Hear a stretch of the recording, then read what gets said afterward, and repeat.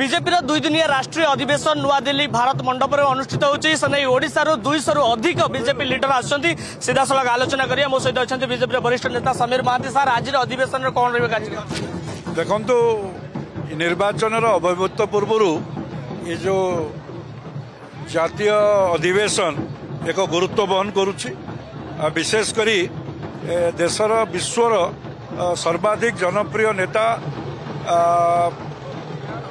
ଜନ ନରେନ୍ଦ୍ର ଭାଇ ମୋଦିଙ୍କର ଆଜି ଯେଉଁ କାର୍ଯ୍ୟକ୍ରମ ରହିଛି ନିଶ୍ଚିତ ରୂପେ କାର୍ଯ୍ୟକର୍ତ୍ତାଙ୍କୁ ଉତ୍ସାହିତ କରିଛି।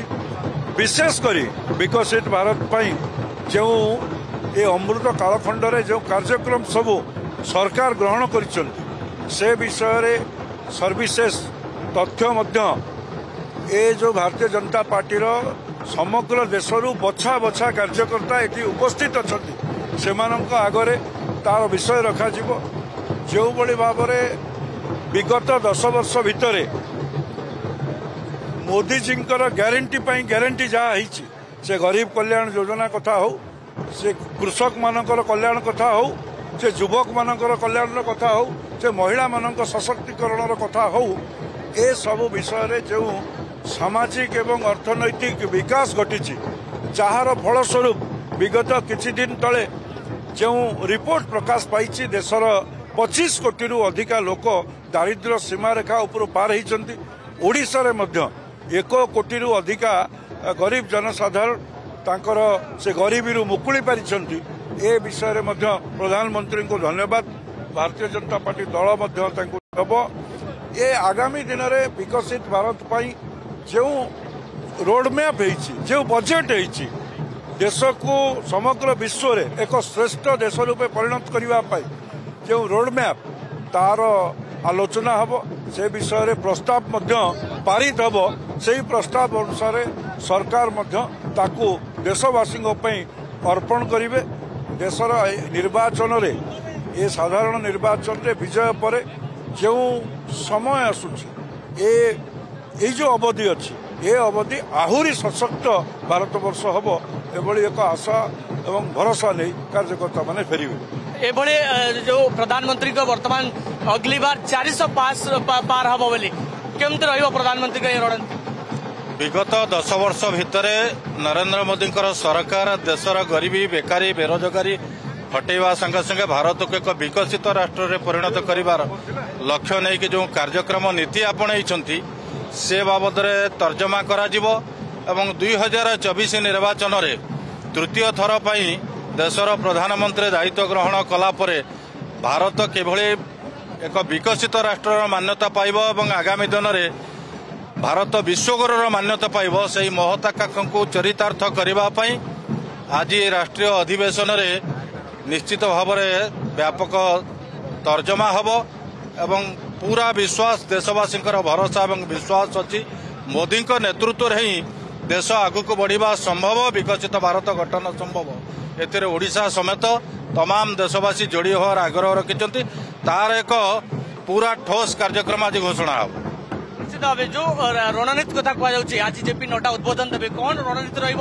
ଯାହାକି ଓଡ଼ିଶାରେ ରେଜଲ୍ଟ ବିଜେପି ପାଇଁ ଭଲ ରହିବ। ନାଇଁ ଦେଖନ୍ତୁ ଖାଲି ଓଡ଼ିଶା କଥା ନୁହେଁ। ସମଗ୍ର ଭାରତ ବର୍ଷରେ କିଭଳି ଭାବରେ ନରେନ୍ଦ୍ର ମୋଦିଙ୍କର ଶାସନ ରହିବ ଏବଂ ପଦ୍ମଫୁଲ ସବୁ ରାଜ୍ୟରେ ସ- ଫୁଟିବ ସେ କଥାକୁ ନେଇକି ଯେତେବେଳେ ଜାତୀୟ ଅଧିବେଶନରେ କେବଳ ନିର୍ବାଚନ କଥାକୁ ନୁହଁ ଭାରତବର୍ଷକୁ ପୃଥିବୀର ସର୍ବଶ୍ରେଷ୍ଠ ରାଷ୍ଟ୍ର ନିର୍ମାଣ କରିବାର ଯେଉଁ ଲକ୍ଷ୍ୟ ରହିଛି ଆମର ପ୍ରିୟ ପ୍ରଧାନମନ୍ତ୍ରୀଙ୍କର ଏବଂ ବିକଶିତ ଭାରତ ଯେଉଁ ସ୍ୱପ୍ନ ରହିଛି ସେ ସ୍ୱପ୍ନକୁ ଆଗାମୀ ଦିନରେ କିଭଳି ଭାବରେ ସାକାର କରିହେବ ସେଥିପାଇଁ ମଧ୍ୟ ଆଲୋଚନା ପର୍ଯ୍ୟାଲୋଚନା ଚାଲିବ ଏବଂ ବିଶେଷ ଭାବରେ ନିର୍ବାଚନ କ୍ଷେତ୍ର କଥା କହିଲେ ସବୁ ରାଜ୍ୟକୁ ଏଠି ସବୁ ରାଜ୍ୟର ବରିଷ୍ଠ ନେତୃତ୍ୱ ଆସିଛନ୍ତି। ଓଡ଼ିଶାର ଦୁଇଶହରୁ ଉର୍ଦ୍ଧ୍ୱ ବରିଷ୍ଠ ନେତୃତ୍ୱ ଆସିଛନ୍ତି ଓଡ଼ିଶା ରାଜ୍ୟରୁ।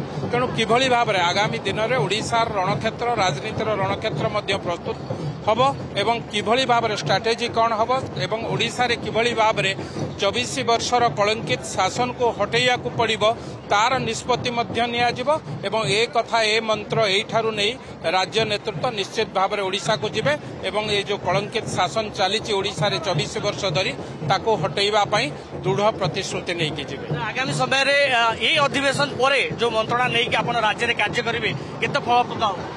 ନିଶ୍ଚିନ୍ତ ଫଳପ୍ରଦ ହେବ। ଆଉ ଏଥର ଓଡ଼ିଶାର ଜନସାଧାରଣ ମାନେ ସବୁ ଜାଣିଗଲେଣି କେମିତି ବିଜେଡି ସରକାର ଦୁର୍ନୀତି ଶୋଷଣ ସବୁ କିଛି ମାନେ ଯେତିକି ଅନୀତି କାମ କରିବା କଥା କରୁଛି। ଆଉ ଓଡ଼ିଶାବାସୀ ଉନ୍ନତି ପରିବର୍ତ୍ତେ ତଳକୁ ତଳକୁ ଯାଉଛନ୍ତି। ଆଉ ଲୋକମାନେ ମନ ପରିବର୍ତ୍ତନ କରିସାରିଲେଣି।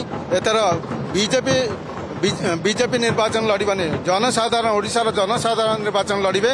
ଆଉ ସିଏ ନିଶ୍ଚୟ ଓଡ଼ିଶାରେ ବିଜେପି ସରକାର ଗଢ଼ି ଡବଲ ଇଞ୍ଜିନ ସରକାରର ଫାଇଦା ନେବେ। ନିଶ୍ଚିତ ଭାବରେ। ଆପଣ ଦେଖୁଥିବେ ଯଶସ୍ୱୀ ପ୍ରଧାନମନ୍ତ୍ରୀଙ୍କର ନେତୃତ୍ୱରେ ଦଶ ବର୍ଷ ଭିତରେ ଓଡ଼ିଶାରେ ଯେଉଁଭଳି ଭାବରେ କେନ୍ଦ୍ରୀୟ ଯୋଜନା ରହିଛି ଓଡ଼ିଶାକୁ ଯେଉଁଭଳି ଆଗେଇ ନେବା ପାଇଁ ଯଶସ୍ୱୀ ପ୍ରଧାନମନ୍ତ୍ରୀଙ୍କର ଯେଉଁ ଜନକଲ୍ୟାଣ ଯୋଜନା ଅଛି ଏବଂ ନିଶ୍ଚିତ ଭାବରେ ଆପଣ ଦେଖିବେ ଓଡ଼ିଶାରେ ଏଥରକ ଡବଲ ଇଞ୍ଜିନ ସରକାର ହେବ ଓଡ଼ିଶାରେ ଭାରତୀୟ ଜନତା ପାର୍ଟିର ସରକାର ଆସିବ ଏବଂ କେନ୍ଦ୍ରରେ ତୃତୀୟ ଥର ପାଇଁ ମୋଦି ସରକାର ଗଠନ ହେବ ଏ କଥା ଆପଣମାନେ ଆଗେ ଆପଣ ଶୁଣୁଥିଲେ ଯୋଉଭଳି ଭାବେ ବିଜେପିର ବରିଷ୍ଠ ନେତାମାନେ ଏହି ଅଧିବେଶନରେ ଭାଗ ନେଲା ପରେ ନିଶ୍ଚିତ ଭାବେ प्रधानमंत्री मोदी उद्बोधन, जेपी नड्डा उद्बोधन, निश्चित भाव जो नुआ रणनीति प्रस्तुत करके बजेपी संख्या निश्चित भाव जितबार वृद्धि हम Nuadilli camera person Aditya Manoj Mahanti Argus news.